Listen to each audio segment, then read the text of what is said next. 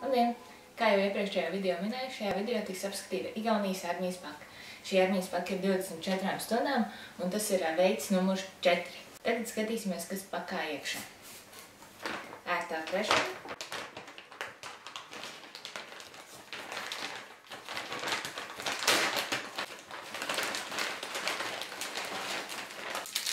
Halva, vairāk cukuriņi, ķeksa, šokolāde, dezinfekcijas salvetītes, tēja, sāls, enerģijas dzēriens, piena aizvietotājs kafijai, pipari, kafija, sērkociņi, muslis, caurs maisiņš, tā galvenā pārtika, kas te ir, ziemas šprotes, nevar izlasīt, kas tas ir, pumperniķels, tālāk, Tad putra ar kūpinātu gaļu. Un tālāk pēdējais ir šis. Un tas varētu būt... Ar savām krievalodas zināšanām izlasīt to, ka šī ir maltās gaļas mērķis ar kartupeļiem. Interesanti ir tas, ka šajā komplektijā nebija nekādas sildierītes, bet uh, tika iedot sērkociņi. Tas nozīmē, ka ir mežā jāmeklē pašam, uh, ko aizdedzināt. Tālāk es domāju, ka mēs pirms uztaisīsim kādu no dzērieniem. Tā kā ir diezgan agrs rīts, Īstenībā nav agres rīts. Pirmais dzēriens, ko es pamēģināšu, ir uh, labākā kafija, kurai pievienošu cukuriņa un uh, kafijas piena aizvietotāju. Jo no bērnības man vienmēr likās, kāpēc tā ir maisiņos, bet kafija nevar būt maisiņos, vienmēr ir jācīnās ar tiem biezumiem kaut kā. Bet rekā tomēr pasaulē jau tas bija izdomāts. Paciņā kafijas maisiņš. Kamēr kafija gatavojas, sameklēsim, ko mēs varam apēst pie kafijas brokastīs. Tātad brokastīs mums būs šprotes ar rupmaizi un saldajā būs muslis. Šprotes tomātu mērķē ir mans mīļākās. Labi, paņemšu kafiju malā. Kāda izskatās rupmaizi? Tad vispirms vāciņš. Es paņemšu šķīviti. Wow! O, viņas pat jau ir sagrieztas, vērsim vaļā šprotes labākās brokastis ever. Tad paņemam vispirms pirmo šķēlu. Wow, cik superīgi! Kaut visu rupmaišu šādi būtu. Mmm, smaržo ļoti labi. Labu apetīti! Vienmēr ir tas jautājums ar šprotēm, kuru galvu priekšu asti vai to, kur agrāk bija galva.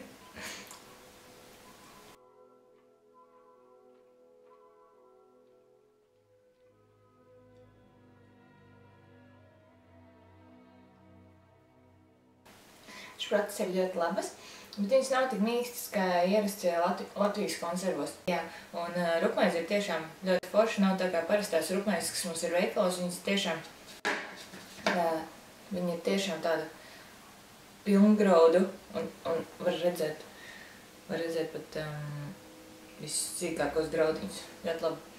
Mm, un smaržo arī lieliski. Ok, paldies, es iekodīšu vēl pārīt. Mēs varam pārbaudīt mūsu kafiju.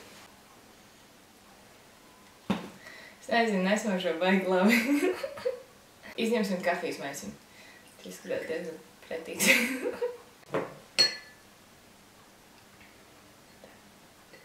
Ievaram vienu cukuriņu. Un piena aizvietotāju. Ceršu salmi.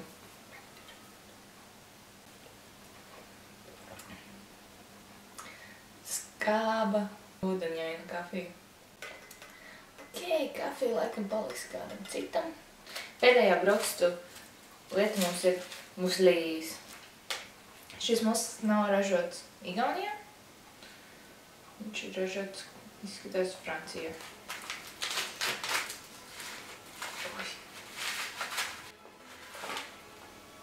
Oh, es nezinu, man šīs smarža atgādina vecus riekstus. Ļoti salds. Mēs uztaisīsim putriņu. Tagad paņemam bļodiņu. Izgājuši paciņas saturu bļodiņā.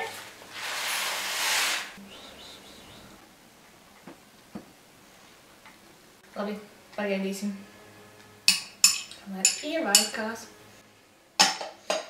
Domāju, ka mums ir pietiekami ievilcies, jo izskatās labi. Ir diezgan ok. Viņam ir tā soliņa, bet tas jaunākais. Labi, mēģinam.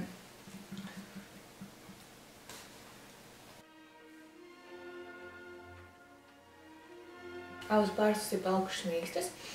Pat tā soliņa ir ļoti salda, ļoti, ļoti salda. Es nezinu, vai esmu bļodu ar šo varētu izēst, jo vienkārši viņš ir tik salds, ka varētu sākt šķebināt. Pagaršošu tās mazos auglīšus. Jā, tas ir žāvēts. Žāvēts vai kaltēts ābols. Es tev stāstu, ka tas um, ūdens pārvērties pienā tā kā jauna brīnuma, bet tur arī izrādās ir rakstīts, ka tas ir uh, muslis ar pienu.